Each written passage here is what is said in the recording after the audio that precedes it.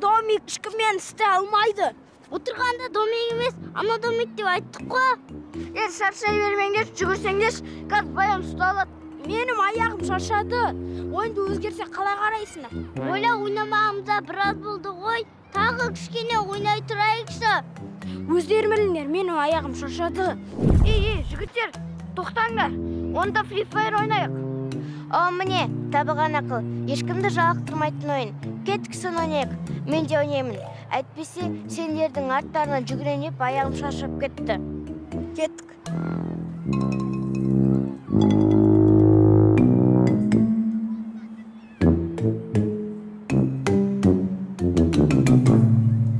Содан ермек екінші нұсқаның тапсырмасын менен көшіріп жатқан кезде апай ұстап алды. Сосын бағасын төмендетіп тастады ма тек ермектің ғана емес көшіруге берген айзеренің де бағасын төмендетті ғой ту өкінішті апайларың қатал екен қаталдың қаталы бұрынғы апайымыз күштірек еді.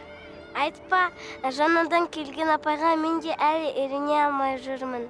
Демалыста сабақ жайлы айтпайықшы. Жарайды жарайды не ойнағың келеді?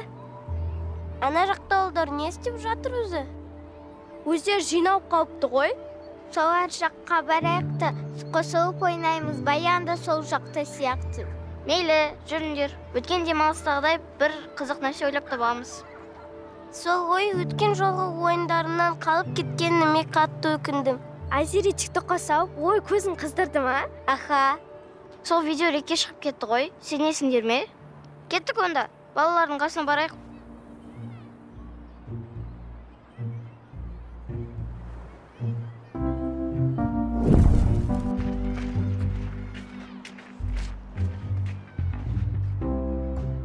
Істеп жатсыңдар қызық ойын сияқты ғой. Бізді де қосыңдаршы фри фаер ойнап жатыр екенсіңдер ғой. Мен де білем бұл ойынды команда болып ойнағанға таптырмас ойын ғой дәл. Мәссаған мен ақ білмейді екенмін ғой бұл ойынды. Үйренсек оңай ақ болып кетеді. Тез тез қосылыңдар соғысып жатырмыз.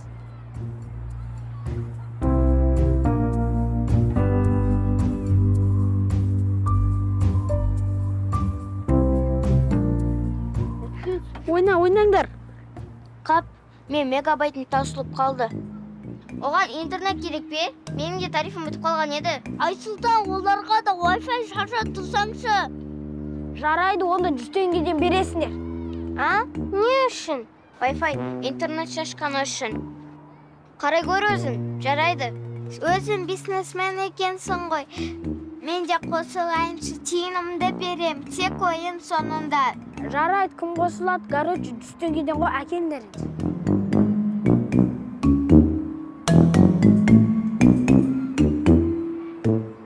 Өзің көп кішкентай болып алып 500 теңге істеп алдың ғой нәместе. Әкем еңбек етіп ақша табуға жас кедергі емес деп айтқан. Жо жоқ жарайсың деп жатқанымыз ғой. Біздің айсұлтан осылай кез келген жерде ақылына ақша айналдырады. Өзі бизнесмен десе бизнесмен шынымен. Мынауың жақсы ой салды ғой. Демек біз де өзіміз ақша таба алатын бизнес ойлап тапсақ болатын сияқты. Аха ақша ешкімге артық етпейді. Ал маған кейде жетпейді. Болады ойын күлкі витамин а ертең сабақ. Иә бәріміз қайтып үй тапсырмасын орындайық.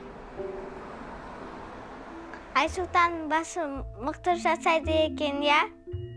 Айтпа ақша табуды жақсы біледі ол. Нұрғиса біз де ақша таба аламыз ба? Білмеймін сол. Мен де өз ақшам болғанына қатты қызығып кеттім.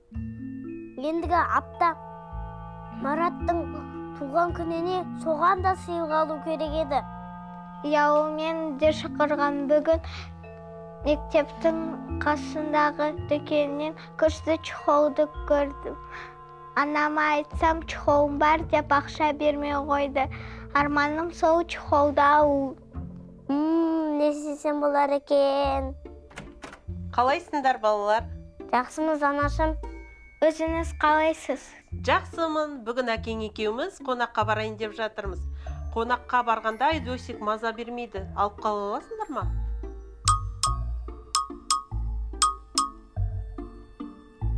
Сіз бізге сол үшін ақша төлей аласыз ба? Жақсы идея екен. Көрші саят әтелеріңде балаларын қалдыратын жерлері жоқ. Сендер алып қала аласыңдар ма? Қолдарыңды құр қол қалдырмайды. Мен оған айтып қоямын. Келістік. Біз дайынбыз сәлем супер көрермен енді біз қазақстанның әр қаласында кино түсірудеміз. Және сол киноға сен де түсе аласың. Киноға түсу үшін ата анаңыз мына ватсапқа хабарласын. Біздің кинода кездескенше. Саламатсыз ба біз ақберенге келіп едік кірсек болады ма ой қалайсың баян қызым кел төрлет ақберен бөлмесінде кіре қойыңдар о ақберен қалайсың жақсы жақсы. Не жағдай? Не ғой мына ертеңгі сабақтың рефератын шығарып алсақ деген едік. Сен бізге шығарып бересің бе? Бізде принтер жоқ ал типография жабылып қалыпты.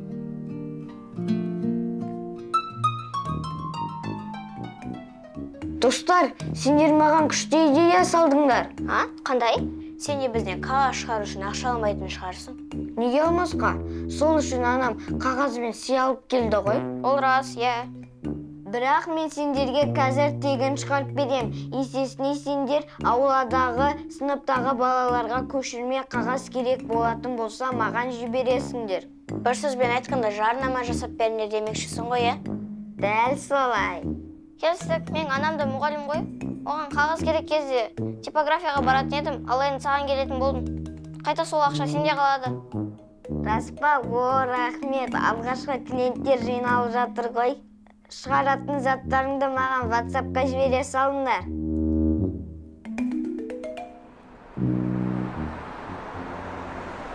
Қалай ойлайсың? Ойымыз іске асар ма? Әрине сол құрылым балаларды буфеттен ә, дәптер мен қалам сатып алады ғой уайымдама. Мейлі сенікі сатып алады ғой бірақ менің машықтарым ше оларды ешкім алмай шығынға батып кетсе ше шығынға батпайсың. Алда сегізінші наурыз келе жатыр ғой соған. А, балалар аналарға әпкелерге әжелерге ашық хаттарды жазады ғой уайымдама. Сен ойын маған ұнап тұр. Ал онда бізге сәттілік. Біз асханаға құртатын ақшамызға бизнеске қосып жүрміз ғой. Ал онда бізге сәттілік. Баян мен кеше бір нәрсе істедім ғой. Ол не? Кешегі ақбереннің ісінен кейін мен қатты ойланып қалдым. Нені? Мысалы ол жоқтан бар жасайды да ақша тауып жүр. Ал мен болсам ата анама мектепке аз ақша бересіңдер деп жиі ренжиді екенмін. Ол рас. Бірақ олардың жұмысындағы қиындықтар жайлы отбасылық ақшалай қиындықтар жайлы ойламаппын. Тіпті түсінуге де тырыспаппын иә ата аналарымызда да бұндай қиындықтар болып тұрады ғой. Ешкім де миллионердің баласы емес қой. Айтпақшы сонымен не айтқың келді? Мен де тым болмаса өзімнің түскі асыма жарататын ақшамды өзім тауып ата анама ауыртпалығымды салмайын деп шештім. Содан? Содан сол кеше үйдегі жемістерді қайнатып компот жасап әкелдім қара. Мәссаған жарайсың. Рахмет. Енді осыны балаларға сату керек. Саған бір нәрсе айтайын ба? Айт мен де математикадан ше төрт топқа берген төл есептердің барлықтарын шығарып келдім. Қазір соны көшірге сұрағандарға сатамын. Қалай ойлайсың ұят емес пе? Табылған ақыл ғой ұят ештеңкесі жоқ. Ол сенің еңбегің ғой. Айзере біздің топтың есебін шығарып келдің ба? Тек жартысын баяннан сұрасай.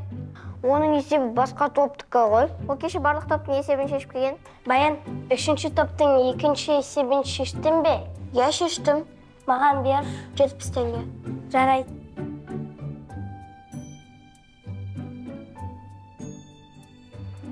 бәрін бизнесмен қатысушылар ғой тегі. Біздің топтың бесінші есебін қаншаға сатасың? Бәрі сол жетпіс теңгеден. Жарайды қане көріп алайын ха газ. Не?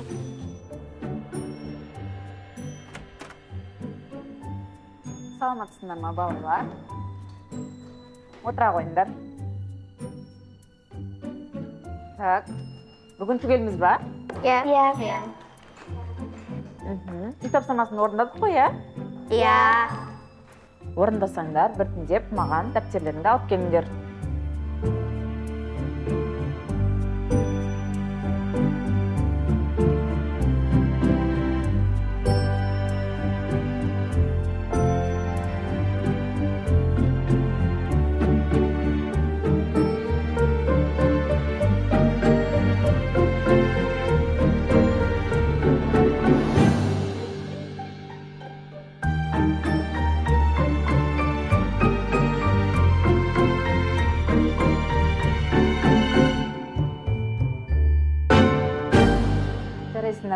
Бүгін өте жақсы дайындалып келіпсіңдер.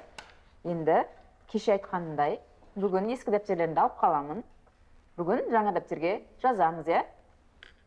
Ой апай мен оны айтқаныңызды ұмытып кетіппін. Қазір асхана барып жаңа дәптер әкелейінші. Мхм бара ғой. Тоқта менде бар дәптер асханаға барып үрейленбе елу теңге. Сенде қымбат қой. Асханада да осы баға. Мен көрдім қайта уақыт үнемдейсің ғой. Жарайды әкел. Дильназ маған да біреуін бере салшы өтінемін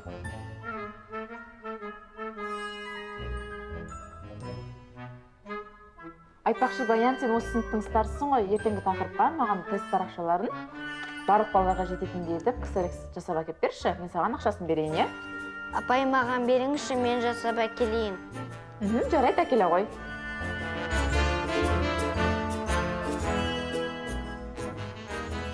барлық балаларға жететіндей болсын иә?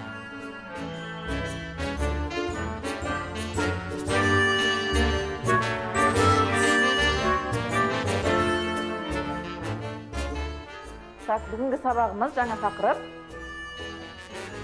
Бүгін қаншасы? Мен пицца жеймін сендер не аласыңдар мен пюре жегім келіп тұр ал мен пирожки аламын.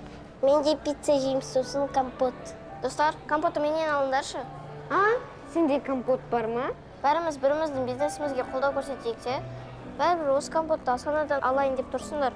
Әрине сенен аламыз. Айзере бұл деген үлкен емек қой. Қаншадан? Жүз теңгеден. Анар мен шейк компоты. Мен шиенің компотын қатты жақсы көремін. Алыңдар ас болсын. Айару біздің жанымызға келсеңдерші көршілер болып әңгімелесіп отырайық. Жарайды қазір. Тек сусын алмаңдар менде бар.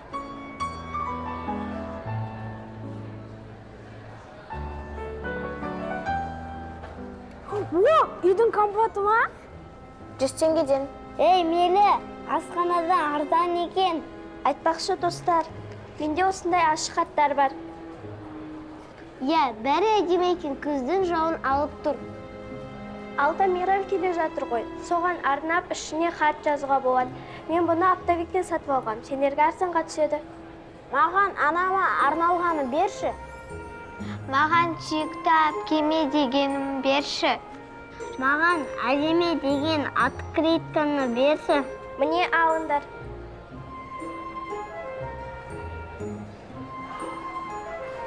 Маған да біреуін бере салшы иә бір біріміздің бизнесімізді қолдайық та.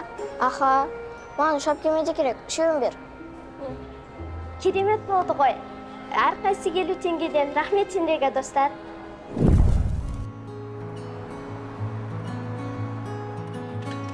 Ей тоқтаңдаршы мені күтпейсіңдер ме? Тоқтаңдар. Не болды айсұлтан? Бірге қайтайық та кешегідей серуенде досым бүгін бізде уақыт жоқ ренжімеші неге негесі қалай елдің бәрі бизнес жасап жүр ғой біздің де қазір кәсібіміз бар ол не жұмыс тағы? Қазір біз туыстардың бала шағасын ойнатып береміз. Ал олар бізге соның ақысын төлейді. Ол балалардың өз ата аналары ше.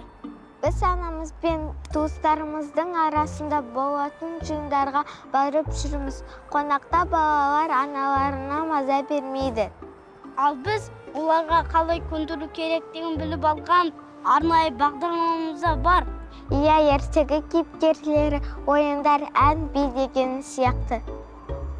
Мәссаған бастарын жасайды ғой сендердің. Сол үшін бізде қазір уақыт жоқ. Үйге барып тез үй тапсырмасын орындап тастап апамыздың туған күніне барамыз. Онда бала шаға көбейеді демек ақшамыз да көбейеді деген сөз. Жарайды жарайды. Сендерге сәттілік жолдарыңды бүгін жақсы байқаймын рахмет досым. Жүр енді кеттік. Өй таппай тыңдарың жоқ қой сендер. Не істеп жүрсіңдер? Сол әңгімелесіп алдыңғы аптадағы жетістіктерімізді ортаға салдық. Айтпақшы бізде де жаңалықтар бар. Біз өткен аптада табыссыз қалмадық біраз ақша жинадық. Мысалы мен дәптер мен қалам сатып 2000 теңге пайда жасадым. Ал мен мерекеге орай ашық хаттарды сатып 2200 пайда жасадым. Бұл таза маған қалғаны. Күшті ғой. Ал мен принтермен қағаз шығарып компьютермен алатын заттарға тапсырыс алып 2500 теңге таптым. Маған да компьютерім жақсы пайда әкелді. Өз еңбегіңмен табылған табысың ыстық болады екен ғой иә? Иә. Дұрыс айтасың. Еңбек етсең ерінбей тойда қарын тілінбей деген сияқты ғой. Мен де мектептегі балаларға есептер шығаруға көмектесіп біраз ақша жинап алдым. Ал біз қазір бала қарайтын орталыққа айналғанбыз ата анамыз біздің еңбегімізді бағалап ақы төлеуден қашқан жоқ. Бұл өзімізге де пайдалы екенін айтты. Достар маған бір күшті идея келді. Барлығымыз бірігіп бизнес жасасақ қалай қарайсыңдар? Әрқайсымызда әртүрлі қабілет бар ғой. Тек жақсы идея табу керек. Табылған ақыл келіңдер түсін жасап ойласайық.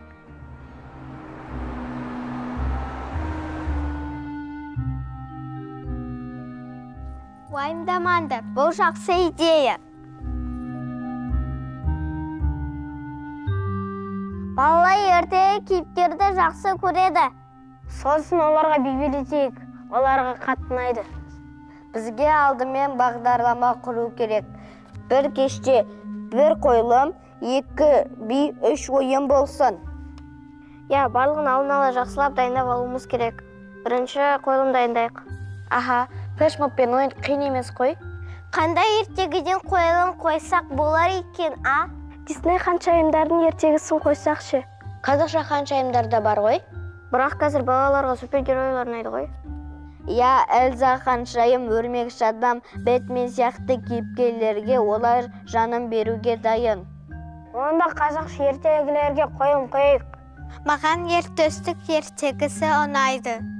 Ал маған қойылым қою үшін алдар көсені таңдағанымыз дұрыс болатын сияқты. Бұл туралы жақсылап ойланып көрейік. Ютубтан да қарайық.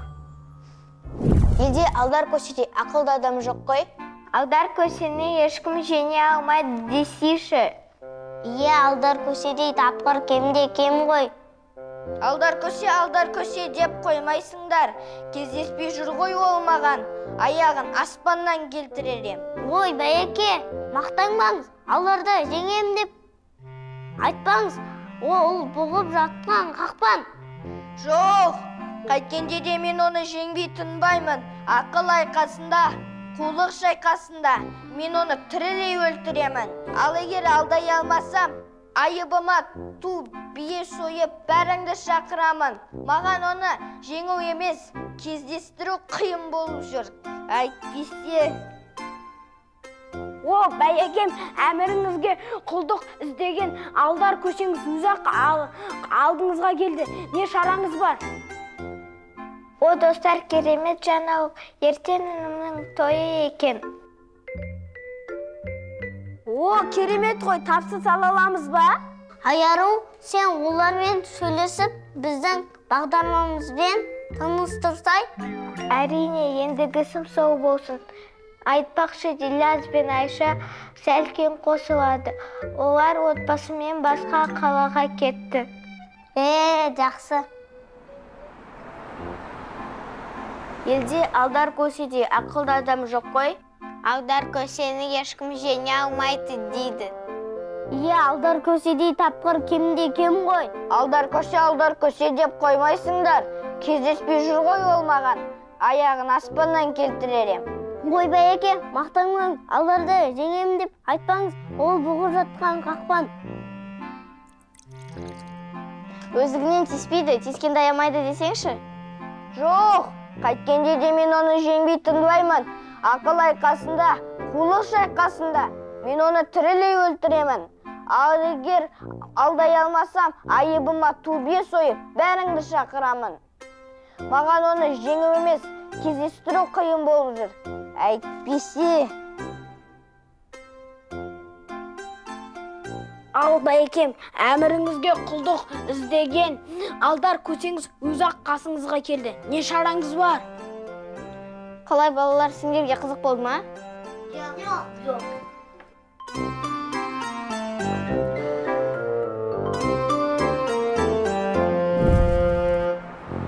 Қазақ ертегілері балаларға қатты ұнамады. Немесе біз жақсы ойнай алмадық.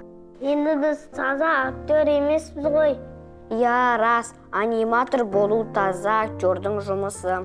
Біз дұрыс жасамадық балалардың көңілсіз күйін көріп өзім ұялып кеттім. Сол үшін ақша алғанымыз да ұят болды. Сол үйдің иесі ақшаны толық беріп жатқанда ұялғандықтан барлығын алмадым. Бұлай болмайды бізге болса жақсы идея керек. Қандай ойларың бар? Достар бізде жақсы жаңалық бар. Айша екеуміздің әпкеміз жаңадан үлкен киім дүкенін ашқалы жатыр. Оған жарнама бойынша көмек керек екен. Осылай депті. Егер біздің жарнамамыздан клиенттер көбейсе бізге процент беріліп отырады екен. Ойланайық дүкен саудасын қалай жақсартсақ болады? Қалай жарнама жасай аламыз? Менде бір ой бар.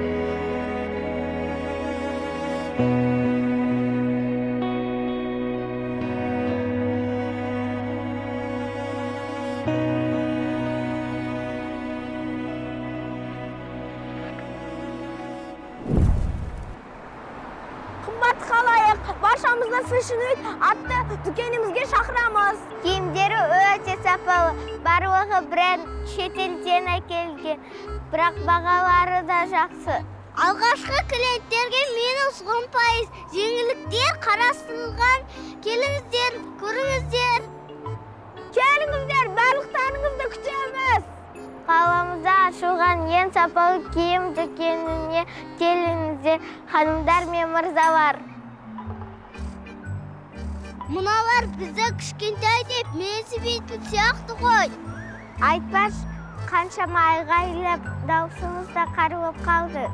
Шаршамайық тағы да жүз парақтай қалды. Басқа алаңға таратайық. Сөйтейікші бәлкім сондағылар біздің еңбегімізді бағалап қалар. Я кеттік достар.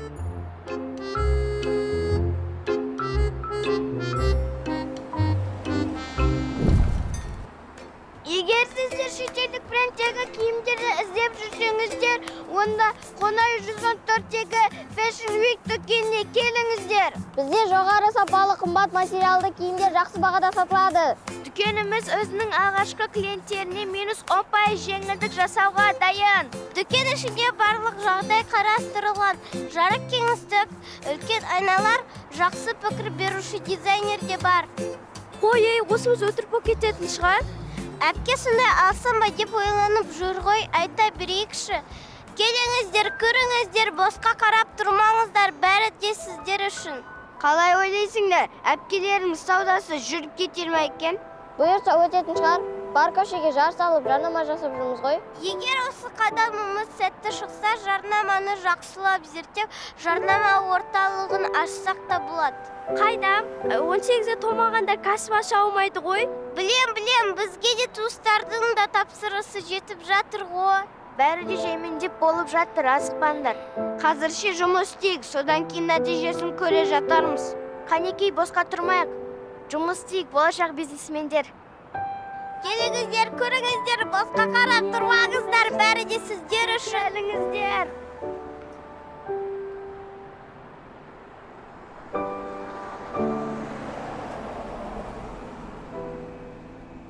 Майя әпке біз парақтарды таратып біттік. Сенесіз бе берген қағаздарды тастамақшы болғандарды нұрғиса қуып жетіп қалталарына салып жіберді ғой. Не де болса біз барымызды салдық. Дүкендегі сауда қайнап жатқан шығар иә? Балалар сендердің ә, еңбектеріңе алғысым шексіз. Сондай еңбекқор талапшыл балалар екенсіңдер. Осылай сендер тәрбиелеген ата аналарыңа алғысым шексіз. Иә біз сондаймыз болашақта үлкен бизнес серіктес болғымыз келеді. Сол үшін қазірден бастап тәжірибе жинауды бастап кеттік. Әпке неге сіз үндемей тұрсыз? Ә, үндемей тұрғанда бар ғой. Негізі балалар сендердің көңілдеріңе қая түсіргім келген жоқ еді. Бірақ сонда да айту керек. Қысқасы негізі дүкенде мүлдем сауда болып жатқан жоқ. Сендердің таратқан қағаздарынан ешқандай да клиент келген жоқ. Бұлай ескі әдіспен ескі классикалық әдіспен сауда жасау қиын сияқты. Сондықтан маған жаңа мобилогр жалдап видео жасап смм таргетке салып интернет арқылы сауда жасаған тиімдірек болып тұр.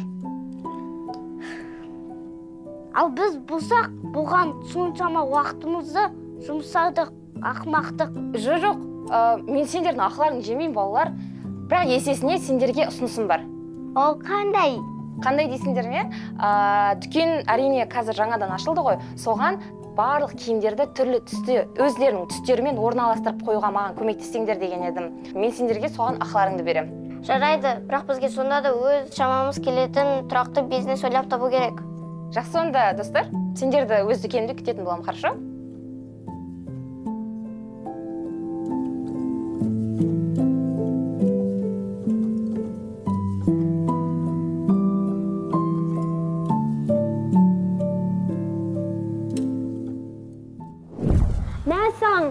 Қараңдаршы жаңа комикстер келіпті мә суреттерінің әдемісін ай комикс деген күшті ғой маған көп кітаптар ұнамайды меніңше барлық балаларға мәтінге сай суреттеме оқыған қызық шығар иә біз түрлі түсті жарқыраған қағаздарды жақсы көреміз ғой комикстер жұқа бірақ бағалары қымбат екен сол үшін ұнағандарын осында оқып алайық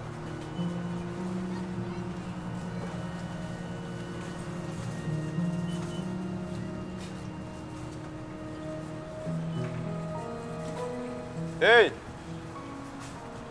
сен үшеуің ана кітаптарды қойып қойыңдар. Бар орындарына қой. Ақшаларың жоқ па? Бәлелерін қарашы өздерің. Не тегін дүние бар деп тұрсыңдар ма? Ақшаларың бар ма? Сатып алып оқыңдар. Кешіріңіз. Екінші қайталанбайды. Бар шығыңдар бар. Бұдан кейін мен дүкеніме ақшамен келетін болыңдар. Қарашы кіп кішкентай болып тегі бәлесін.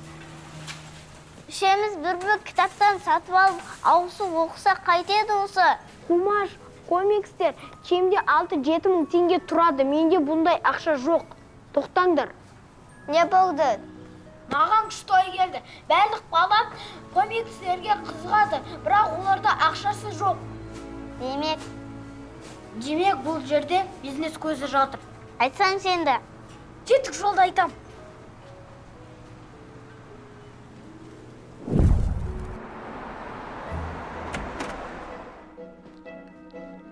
Қараңдаршы күшті ма о айфон ата анам туған күніме деп алып берді. Сабағымды жақсы оқығаным үшін де мақтады? Жарайсың жақсылыққа ұста керемет екен. Қане берші көрейін.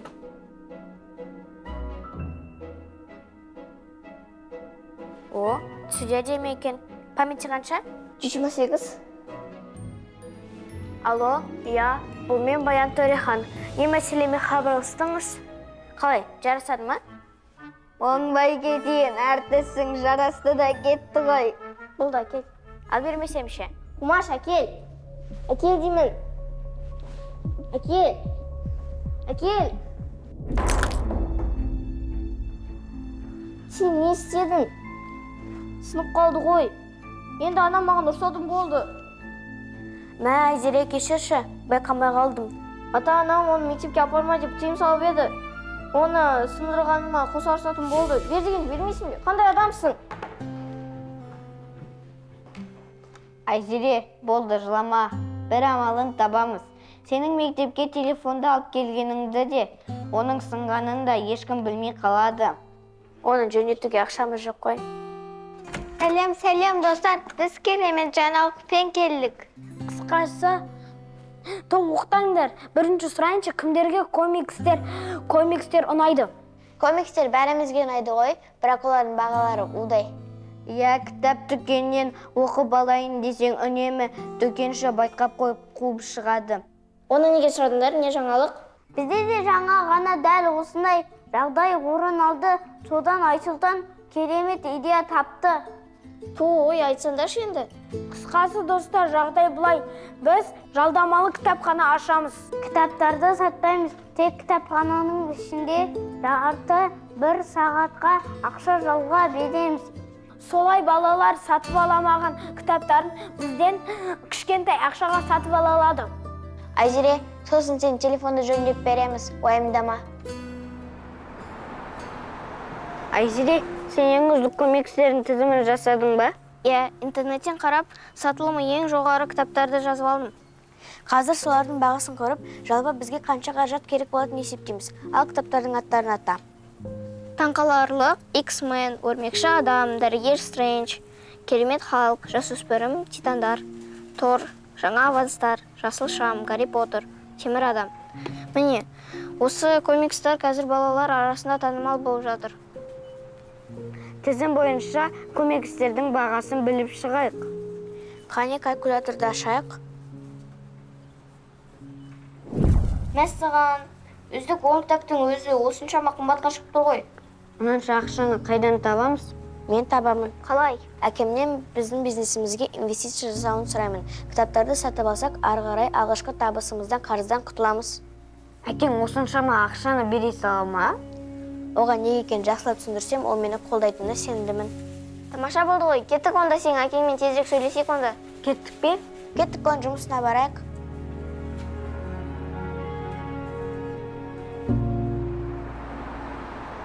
Баян сен үлкен іс тыңдырдың әкеңе алғысым шексіз. Иә ең қызық көмектерді алғанымыз жақсы болды. Бұйырса қазір сағат екіде ашыламыз көрші балалардың бәрі бізге қызығып кітапхананың ашылғанын күтіп жүр ғой. Енді олар әр демалыс күні біздің тұрақты оқырмандарымызға айналады. Керемет идея ғой. Балалар кітап оқу уақыттарын пайдалы өткізеді. Ал біз пайдаға кенелеміз егер балалардың қызығушылығын тудырып жатса кітапханадағы кітап қорында үлкейтеміз мен бүгін оқып қойған кітаптарды алып келдім. Мүмкін олардың басқаларға пайдасы тиетін шығар. Тамаша кітапханамыз басқаларға жайлы болу керек. Оқырмандарымыздың жағдайын жасап қояйық. Ал олай болса жұмысымызды аяқтап өзімізді ретке келтірейік. Не дегенмен бизнесмендеріміз ғой. Дұрыс айтасың. Жалдамалы кітапхана біздің үлкен жобаларымыздың алды болайын деп тұр ғой. Сәттілік достар. Бәріміз біріміз үшін бәріміз бәріміз үшін. Жарайсыңдар жас кәсіпкерлер істерің алға баса берсін. Сендермен мақтанамыз. Ауламыздағы балаларға білім беріп сусындатып жатқандарыңызға мың алғыс. Ақыл кәсіптерің тіптен тамаша. Сіздерге де алғысымыз шексіз. Біздің кітапханамыздың тұрақты оқырманы болуға шақырамыз.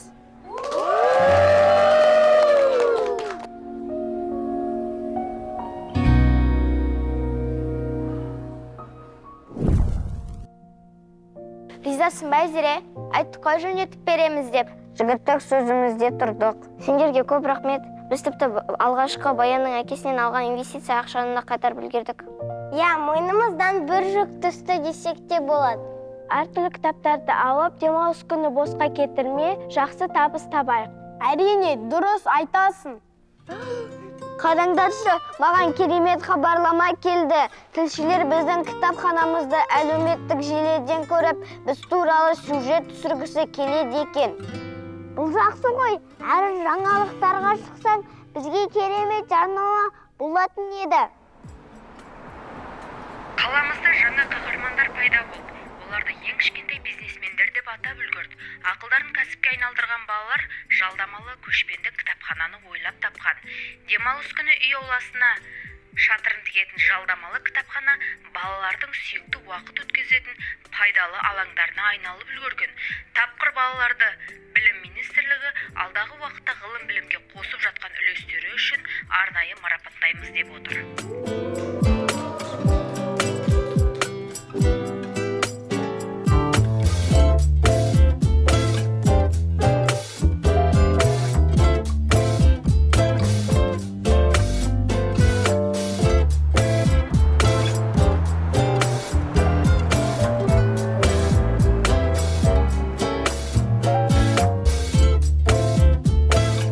сәлем супер көрермен енді біз қазақстанның әр қаласында кино түсірудеміз.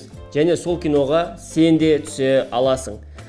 Киноға түсу үшін ата анаңыз мына ватсапқа хабарласын біздің кинода кездескенше.